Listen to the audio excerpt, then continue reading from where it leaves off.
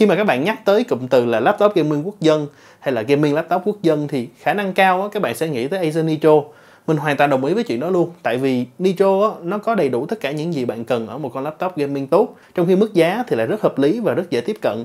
Và nếu như các bạn đang cân nhắc chuẩn bị mua cho mình một con gaming laptop trong năm 2023 này thì con Acer Nitro 17 này cùng với lại một số cái biến thể những cái cấu hình của nó sẽ là một cái option mà chắc chắn các bạn không nên bỏ qua thì con Nitro 17 Phoenix này nó có cái gì hay á, thì bây giờ mời các bạn coi video ha.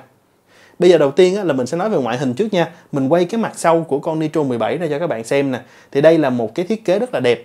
Các bạn nhớ hồi khoảng trước Tết á, mình có cho các bạn coi con Acer Nitro 16 á, thì ở đây là con Acer Nitro 17 tức là nó sang màn hình 17 inch. Về mặt thiết kế thì nó tương tự như con 16 và nó có nhiều điểm nâng cấp so với lại cái thế hệ Nitro trước.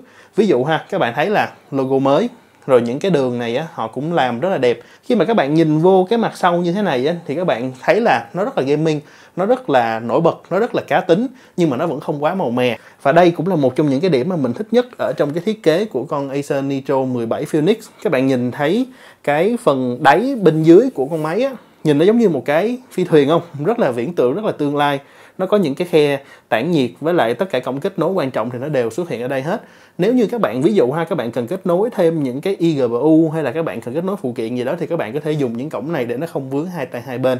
Cổng sạc á, nó cũng được Nitro đưa ra ngoài sau này luôn. Và ở cái mặt trước á, thì các bạn để ý là cái logo Acer nó hơi to ở cái cạnh dưới màn hình á, bây giờ đã đổi thành cái logo của Nitro rồi. Nhìn thanh và đẹp hơn rất nhiều ha và tổng quan toàn bộ con Nitro 17 Phoenix này vẫn là một con laptop rất là đẹp rất là gaming rồi bây giờ mình nói chút xíu về cấu hình ha thì con Nitro 17 Phoenix bản mà mình đang được test ở đây á là nó chạy CPU Intel Core i7 13700H và bộ xử lý đồ họa rời á, là Nvidia RTX 4050. Ngoài ra Acer họ còn cung cấp thêm nhiều cái tùy chọn cấu hình khác nữa. Cho nên á, con Acer Nitro nó mới phù hợp với lại nhiều người và cái mức giá nó dễ tiếp cận là như vậy đó các bạn. Với cái phiên bản mà mình đang có ở đây là Core i7 13700H RTX 4050 nó vẫn cân được rất là nhiều những cái tựa game mà chúng ta hay chơi thậm chí là ở độ phân giải 2K và lưu ý ha đây là màn hình 2K và nó vẫn chạy được ở tần số quét là 165Hz từ đầu năm tới nay khi mà mình trải nghiệm một số con chạy RTX 40 series á, thì mình khá là ấn tượng với lại những gì mà những con bộ xử lý đồ họa này nó có thể thể hiện được. Và ngoài cái chuyện mà các bạn mua về để chơi game ra thì đương nhiên các bạn còn có thể sử dụng nó để làm những cái việc đồ họa nè 3D nè dựng phim nè là đương nhiên rồi. Tại vì đằng nào những con laptop gaming nó cũng đã được trang bị một cái cấu hình rất là mạnh. Cho nên các bạn mua về để làm thêm việc đó, cộng với lại chơi game là quá hợp lý. Sắp tới mình có một cái video hay lắm. Mình sẽ nói về chuyện là vì sao rất nhiều bạn lựa laptop gaming để mà làm một cái máy tính cho các bạn, thay vì các bạn đi ráp một cái máy bàn. Có thể giá nó sẽ rẻ hơn, sức mạnh của nó mạnh hơn.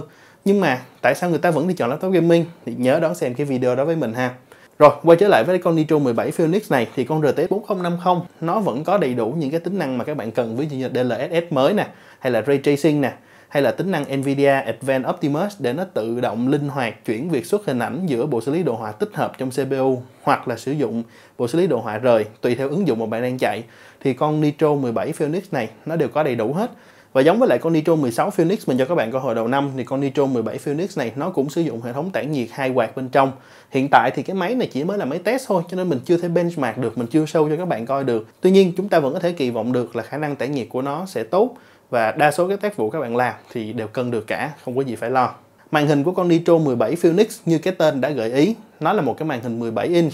Và về độ phân giải thì cái bản mà mình đang sử dụng ở đây nó sử dụng độ phân giải 2K tần số quét 165 Hz và đương nhiên lại một lần nữa cấu hình này làm cho các bạn có một cái cảm giác hình ảnh tốt nè, mịn nè, mượt nè, chữ nghĩa hiển thị tốt và đương nhiên khi mà các bạn chơi game thì cái tần số quét cao nó sẽ thể hiện được rất là nhiều những cái giá trị.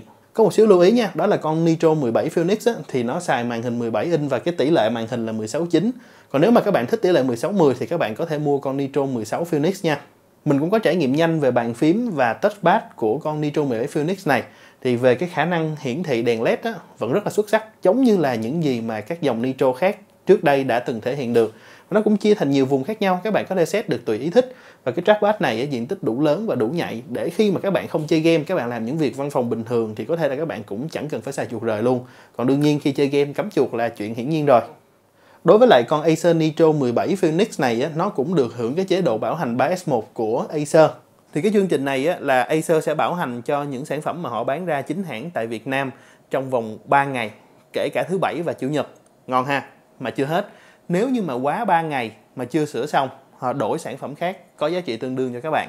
theo mình đoán thì năm nay cái dòng Acer Nitro Phoenix á, nó vẫn sẽ tiếp tục được cái danh hiệu laptop gaming quốc dân của những dòng Nitro đã làm được trong các năm trước Tại vì đơn giản thôi, mức giá thì hợp lý, các bạn có nhiều loại cấu hình để các bạn lựa chọn, trong khi tất cả những cái từ thiết kế nè, ngoại hình và thậm chí build quality vẫn rất là ổn, không có gì phải phàn nàn trong cái phân khúc của con Acer Nitro cả. Còn nếu mà các bạn muốn cao cấp hơn, xin mời lên Acer Helios. Mình cũng có mấy cái video trước đây mình chia sẻ với các bạn về con Acer Helios 18 các bạn nhớ xem lại ha. Rồi, đó là những cái mình muốn chia sẻ với các bạn trong video này. À, mình hy vọng là sắp tới mình sẽ mượn lại được con Acer Nitro 17 Phoenix nhưng mà là cái bản chính thức á, để mình có thể test và benchmark kỹ hơn cho các bạn coi. Còn video này mình trên tay nhanh và chia sẻ một số thứ liên quan tới ngoại hình của nó thôi. Cảm ơn các bạn rất là nhiều ha. Xin chào và hẹn gặp lại trong những video sau. Bye bye.